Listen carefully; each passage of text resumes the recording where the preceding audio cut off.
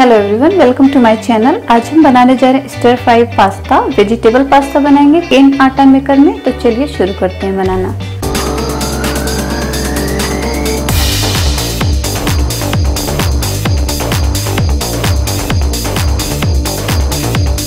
सबसे पहले हम केंट आटा मेकर को स्टार्ट करेंगे। आप सुन सकते हैं, बीप की आवाज़ आई। अब हम मेनू में जाएँगे। 19 पे सेट करेंगे। स्टेयर फ्राई अब हम इसे स्टार्ट कर देंगे और 10 मिनट के लिए हम प्री हीट इसको होने देंगे। ब्रोकली को हम दो मिनट के लिए बॉईल कर लेते हैं। हमने केन टाटा मेकर को प्री हीट कर दिया था। प्री हीट का कोई ऑप्शन नहीं है बट हमने स्टेयर फ्राई में जाके 10 मिनट के लिए प्री हीट किया। अब हम इसको स्टॉप कर देंगे मीन्स पूरा क्लियर कर देंगे।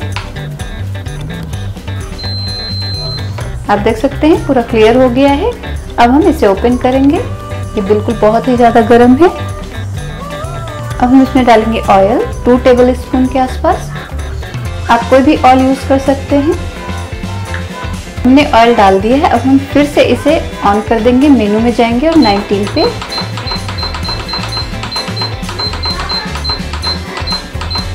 नाइनटीन ऑप्शन में आ गया, अब हम स्टार्ट कर देंगे। ये हमने कुछ कटी हुई सब्ज़ियाँ ली हैं, जिसमें हमने ब्रोकली को टू मिनट के लिए बॉईल कर दिया है और सबको यूँ ही कट कर लिया है। आप अपने पसंद के अकॉर्डिंग कोई भी वेजिटेबल्स ले सकते हैं, इसमें आप मशरूम जुकीनी एनीथिंग कुछ भी आप ऐड कर सकते हैं, जो भी आपको पसंद है, या फिर जो भी घर में अवेलेबल है वेजिटेबल उसका यूज़ कर सकते हैं। अब हम इसमें डालेंगे अनियन केयरफुली डालना है, क्योंकि ये गर्म हो चुका है। चलाने का काम खुद करेगा ये। थोड़ा सा वेट करेंगे। और अब हम इसी के साथ सारी वेजिटेबल्स डालेंगे वन बाय वन करके। ये हम केन टाटा मेकर में आपको बता रहे हैं। अगर केन टाटा मेकर नहीं है तो सेम प्रोसेस आप पैन में कर सकते हैं पैन या कढ़ाई में। हमने सारे वेजिटेबल्स को डाल दिया। इसी के साथ हम डाल देंगे इसमें सॉल्ट हाफ़ टी स्पून या टेस्ट के अकॉर्डिंग आप यूज़ कर सकते हैं सॉल्ट को।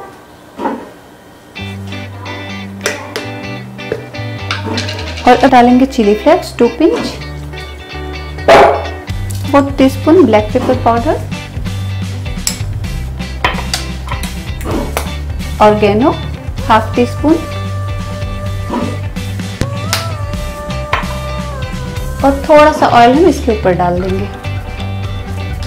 ड्यूरेशन में हम ये पास्ता डाल देंगे। पास्ता हमने बॉईल कर लिया था नाइट में ही। इसको बॉईल करके फ्रिज में रख दिया था एयर टाइट कंटेनर में। आप चाहें तो तुरंत बॉईल करके तुरंत यूज़ कर सकते हैं। सारी चीज़ें हमने डाल दिया है केन टाटा मेकर के बॉक्स में। अब हम इसे क्लोज कर देंगे और इसे पकने देंगे। मीन्स स्टेर फ्राई होने देंगे और जब ये बीप की आवाज़ आएगी, तब हम ओपन करके देख लेंगे। सारी चीज़ों के साथ हमने half teaspoon tomato ketchup और सेम क्वांटिटी में हमने सोया सॉस डाला है। ये ऑप्शनल है बट डालने से इसका टेस्ट और अच्छा लगेगा। अब हम इसे फिर से क्लोज कर देते हैं। सुन सकते हैं बीप की आवाज़ आ रही है। थर्टी मिनट इसके पूरे हो गए हैं। अब हम चेक कर लेते हैं पास्ता को। बहुत अच्छी सेंट आ रही है। आप देख सकते हैं, अच्छे से स्टर फ्राई हो चुका है। अब हम इसे सर्व करेंगे। हमने बॉक्स को बाहर निकाल लिया है। थोड़ा सा इसे रिलैक्स होने देंगे, उसके बाद हम पास्ता को सर्व करेंगे। पास्ता को हमने सर्व कर दिया। आप देख सकते हैं, बहुत ही अच्छा पास्ता बन के रेडी हो गया है। हम इसमें थोड़ा सा गार्निश के लिए हरी धनिया डाल देंगे। आप स्प्रिंग अनियन का भी यूज़ कर सकते हैं। लीजिए गर्मा गर्म पास्ता बिना मेहनत के तैयार है। सब्ज़ियाँ काटने में थोड़ी सी मेहनत लगी बट हाँ आप इसको डाल के तीस मिनट के लिए छोड़ सकते हैं। कोई भी एक्स्ट्रा जो काम है आपके पास, वो कर सकते हैं।